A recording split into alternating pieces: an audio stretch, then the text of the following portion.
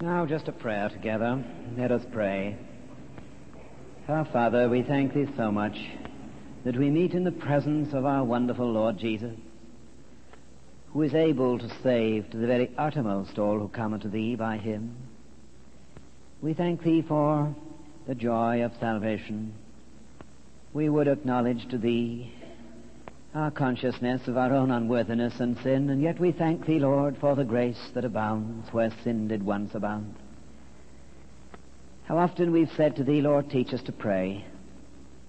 And as we come to Thee tonight, we pray that Thou'lt help us, so that we may walk with Thee and enjoy day by day the privilege of fellowship with the living God. We ask it for Jesus' sake. Amen. Would you please turn with me in your New Testament to the 14th chapter of John's Gospel and to the 14th verse?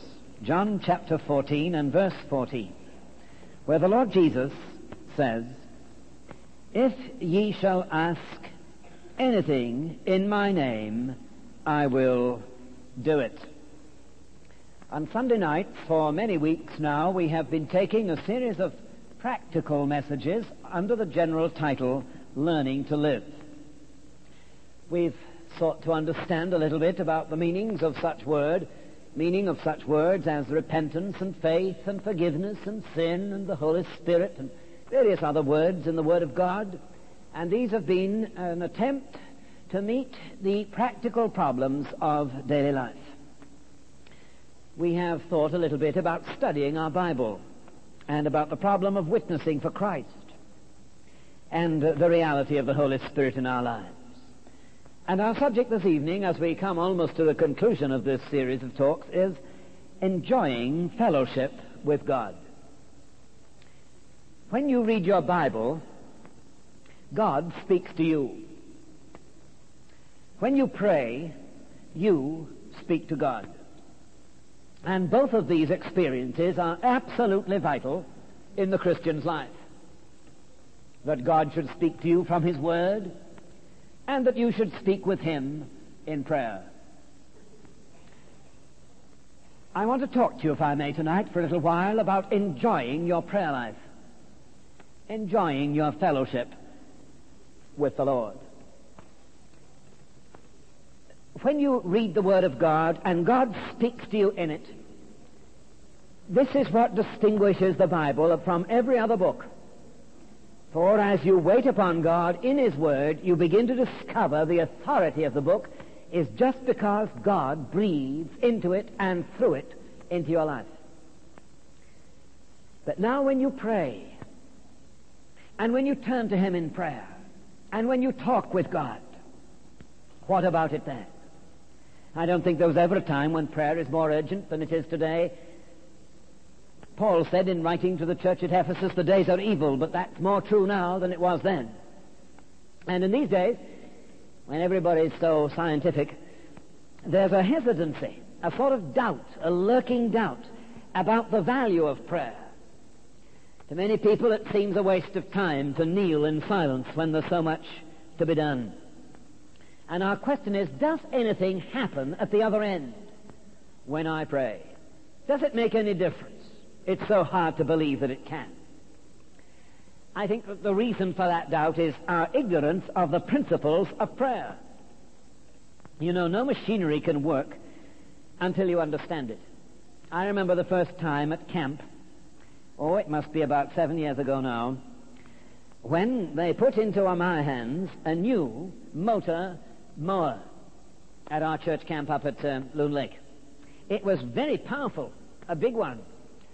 I'm ashamed to tell you that I had not at that point, until that point in my life, ever handled a power mower. Somebody explained to me how the thing worked. And uh, all they said I had to do was to put it in gear and then just control it. Well, I put it in gear. But I found that it controlled me. And it wasn't very long before I, plus the mower, were somewhere lost in the woods alongside camp and I was vainly trying to stop the thing. I was supposed to be driving it, but instead of that, it was driving me. I think we need to understand the principle of prayer. And here are four basic principles of the prayer life in this verse. Let me give them to you as you look at this verse with me. First, the requisite of prayer. If ye ask. Second, the extent of our prayer. Anything. Third, the condition of our prayer. In my name. And fourth, the promise of prayer. I will do it. Now, these are four basic principles of our prayer life. And we're going to look at them quite simply and quickly together this evening. First of all, this requisite of prayer, if ye ask. James says, you may recall, in the fourth chapter of his epistle, in the second verse, ye have not because ye ask not. And there are some God doesn't give to us until we ask him for them. Now, you know that's true in a family. Parents give their children, I think, three kinds of gifts. They give them, first of all, what I would call general gifts. That's a home and food and clothes and school. And every child gets these gifts without asking. And then the child will get some special gifts. If the child's a girl, it'll be a pram or a doll. To teach the girl first steps in mother love. If the child's a boy, and I don't know so much about them, but if, ch- if the child's a boy, he'll probably be given a book about aeroplanes or something. Or a stamp album to encourage his geography. Special gifts.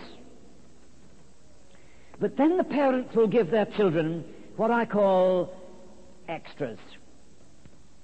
And these are the kind of gifts that the child doesn't get unless he asks. I remember being in a lovely Christian home not so long ago. And as we were talking together, there had been a boy, there was a boy in the house. He was a boy of about 16, 17.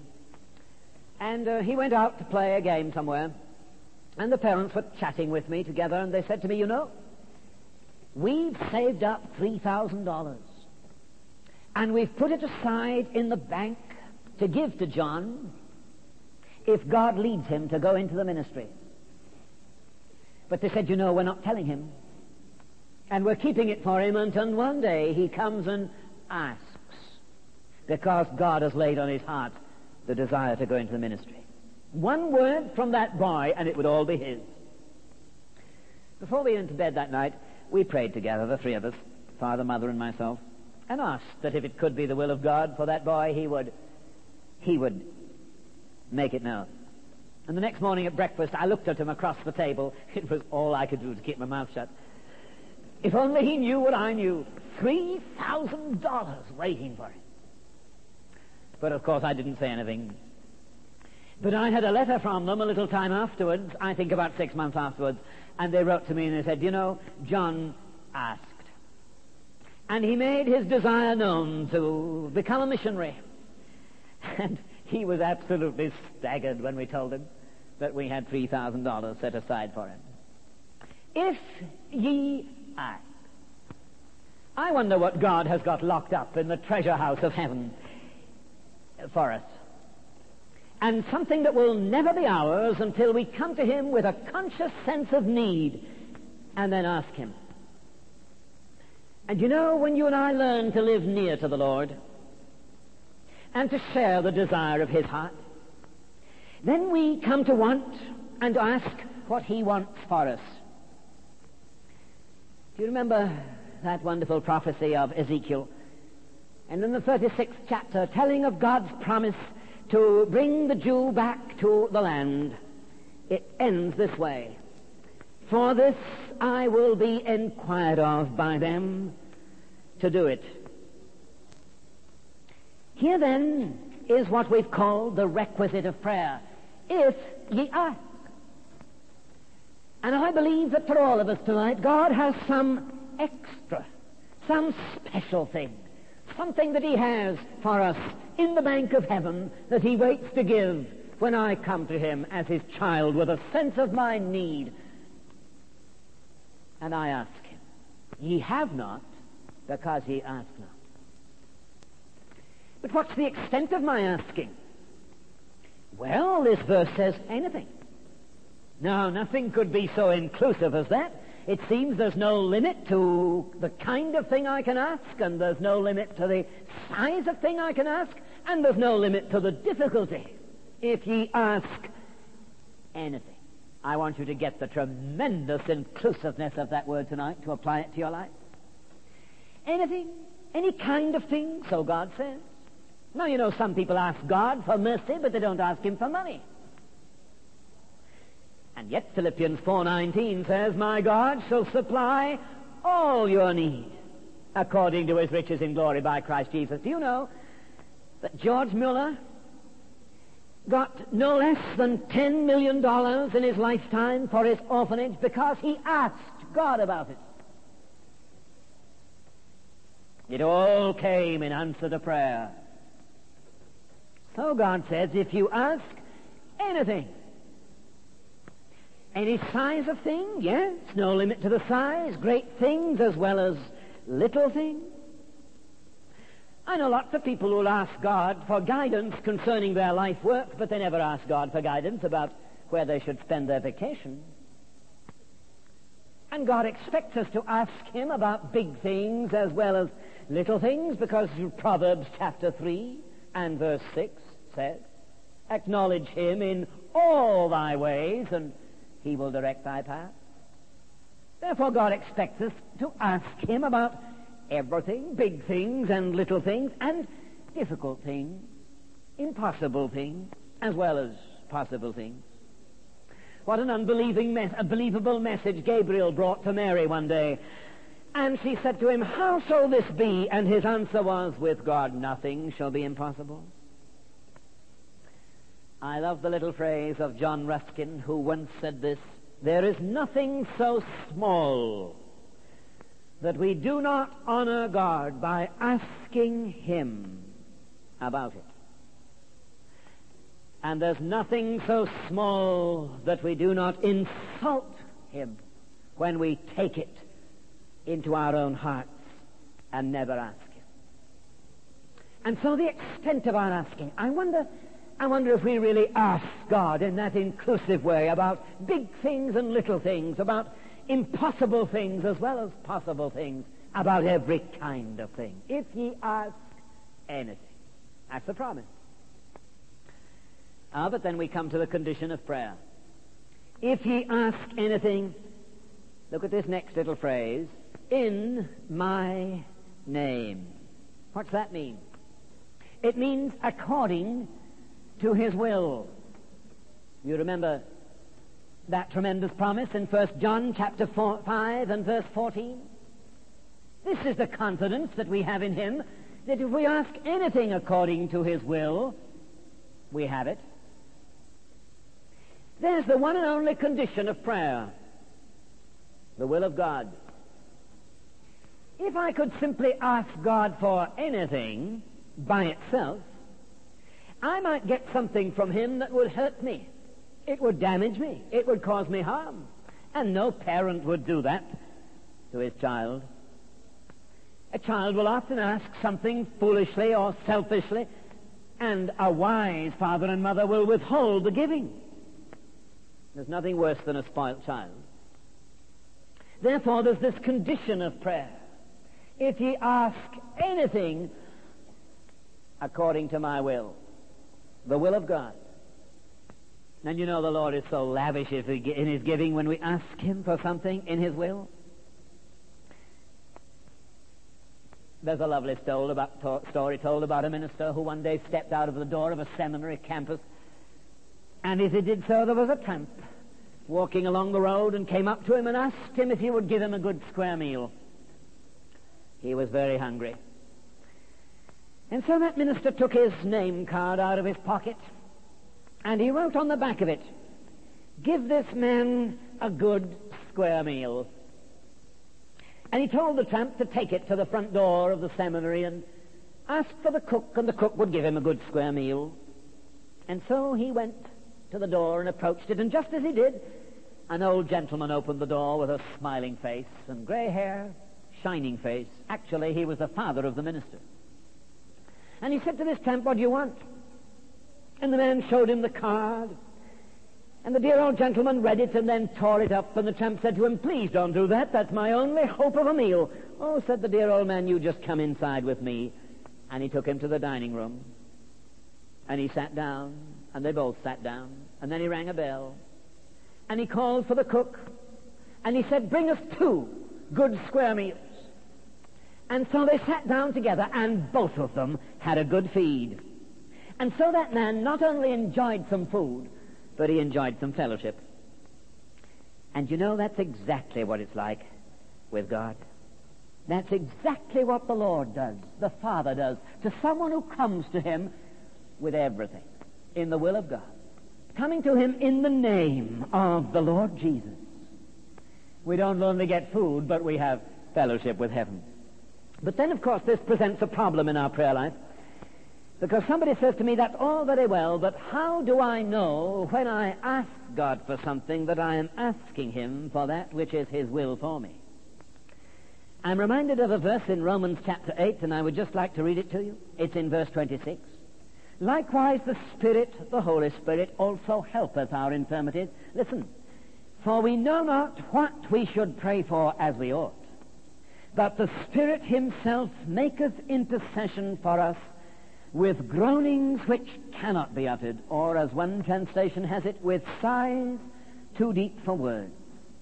And he that searcheth the hearts knoweth what is the mind of the Spirit, because he maketh intercession for the saints according to the will of God. How can I know what I'm asking is God's will for me? Well, you see, beloved, real prayer begins in the heart of God with a desire that He implants in your heart by His Spirit. And that desire goes back to heaven in prayer. And it comes back to us in blessing and in life.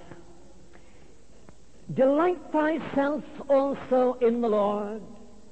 Psalm 37 4. Delight thyself in the Lord, and he shall give thee some desire? No. Every desire of thine heart. Not just a few things. Delight thyself in the Lord. Make thine boast in him. Rejoice in him. Let the Lord fill your life and let his will be to you the one thing that matters. Seek first his kingdom and his righteousness. Make your joy in the Lord, and he shall give you every desire. How can that be? Well, you see, when you delight in the Lord, you only want that which is his will for you. And when your joy is in the Lord Jesus, the desires that come into your heart are the desire of God for your life. Now, this is what prayer makes prayer so simple.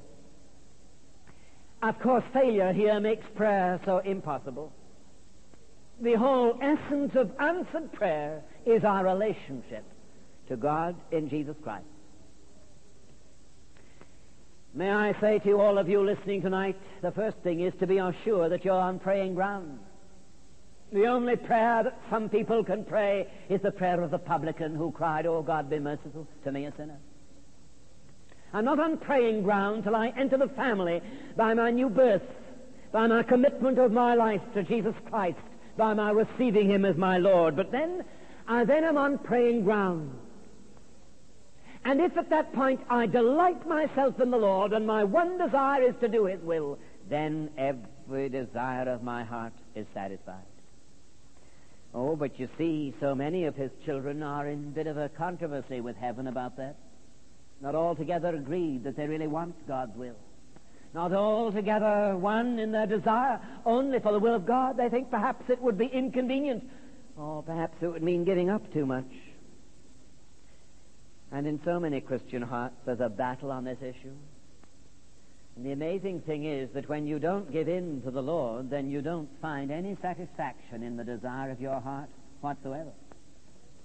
But it's when you delight in Him, and when you rejoice in Him, and when there's no controversy with heaven, and when your life is delighting in the reality of Jesus Christ, then He satisfies every desire.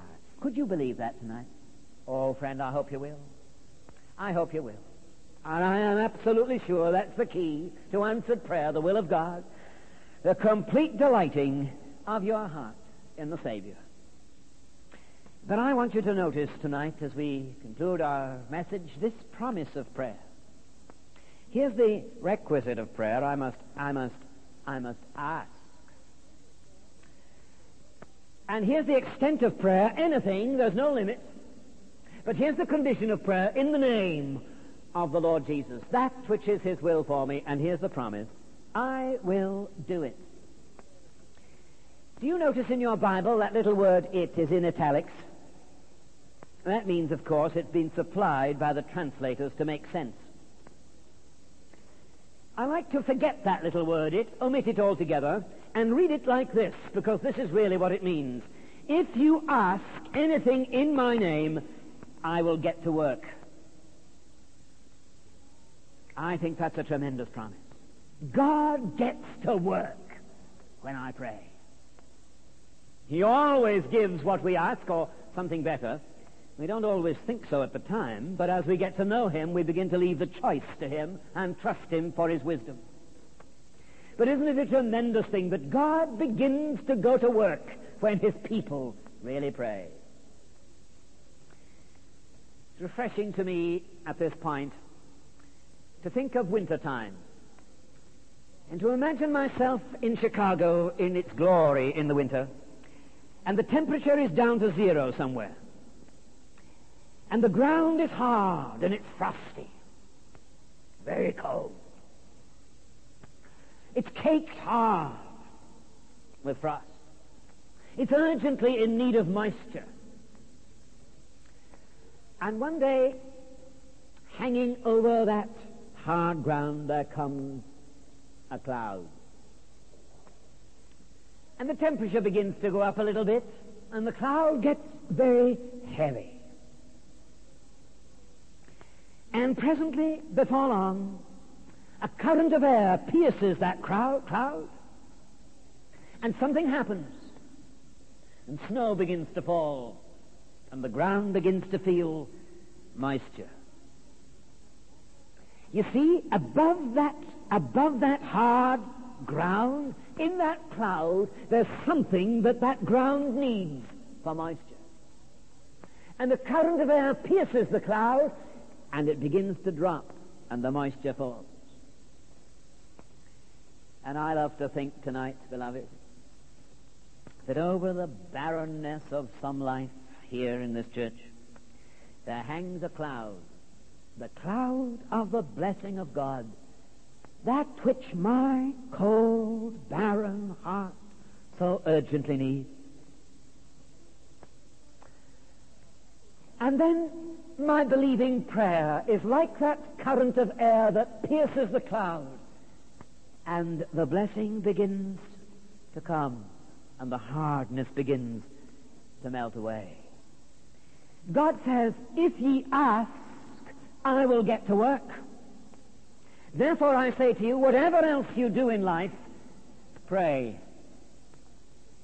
However else you may fill up your time with whatever other things you may become busy, pray. For it's when I really pray, in the name of the Lord Jesus, that the blessing begins to fall. Oh, how much of God's treasure store has just passed by my life because I haven't prayed. May I, in conclusion, make a very practical suggestion? Supposing you say to me, how do I begin? Well, supposing you have um, five minutes for prayer. If you start with five minutes, the habit will increase. But just let's suppose you have five minutes for prayer. Listen, in that five minutes, make four acts with your mind. Here they are. First, an act of adoration. That is, don't ask for anything, just worship. Speak to the Lord Jesus about himself. Tell him you love him. You remember the words of that lovely hymn which I often use in prayer, My God, how wonderful thou art. Thy majesty, how bright. How beautiful thy mercy seat in depths of burning light. May I venture to say this to you? Be very careful about being too familiar in prayer. Now, you may think I'm old-fashioned. But this idea of God being a kind of individual upstairs somewhere, and this kind of colloquialism in prayer, this easy conversational chatting with God, this familiarity of terminology doesn't impress me one little bit as being spiritual. God is infinitely holy. And when I approach Him, I'm on holy ground, and I need to learn that as I enter into His presence, I must adore Him. I must worship Him.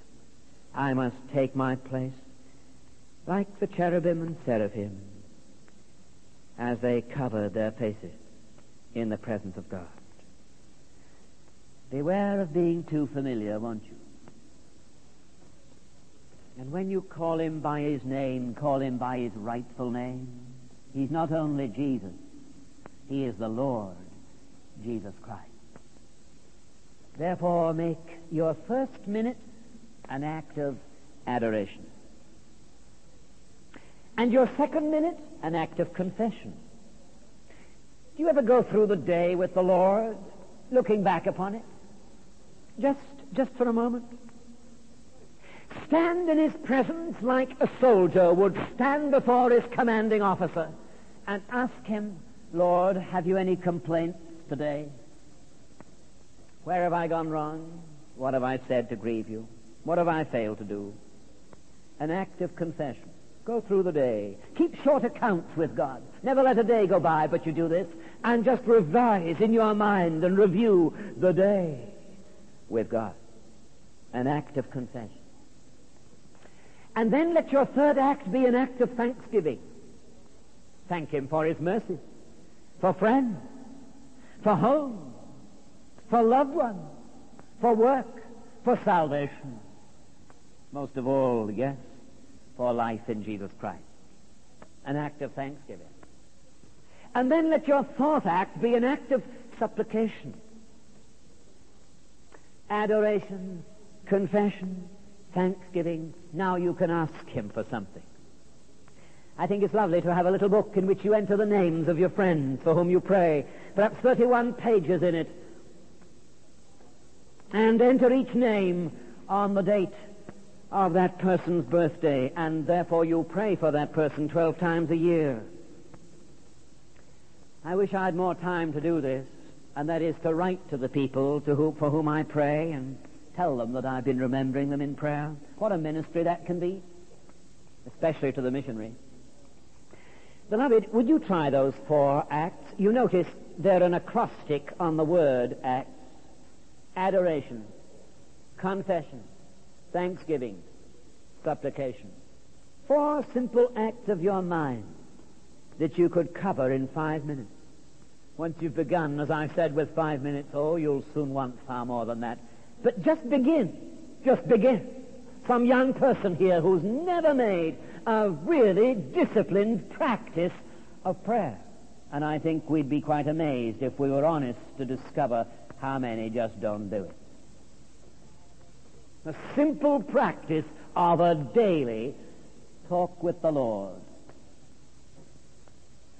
Will you put that to the test? But again, as I conclude my message, how I pray that every one of us can look up into his face tonight and call him Father. You can only do that from the moment in your life when you know Jesus Christ as your Savior. And I trust you've entered into the family relationship. If you haven't, you can do so right now. And prayer can take on a new meaning to you. There's all the difference between saying your prayer and praying. And I trust that for some Christian here who's got no fellowship with God in prayer simply because you've never delighted in the will of God, for some of you who've battled your way through and just fought things out and resisted the will of the Lord, the good will of God, that tonight you may submit your life to Him. That you will find the joy of every desire of your heart being met because you're delighting in the Savior. Put it all to the test and God bless you. Let's bow together for prayer. Lord Jesus, we thank Thee that Thou art so real to those of us who know Thee. And we pray that day by day we may learn to talk with Thee and to walk with Thee in the light of Thy Word, and that prayer may become a living experience to us, a precious thing, something that we cannot afford to miss, because in the time of fellowship we meet with thee, and thou dost meet with us. Oh, dear Savior, if there are some here who are not even on praying ground, Lord, wilt thou speak and bless and save even tonight, and bring them into the family of the redeemed?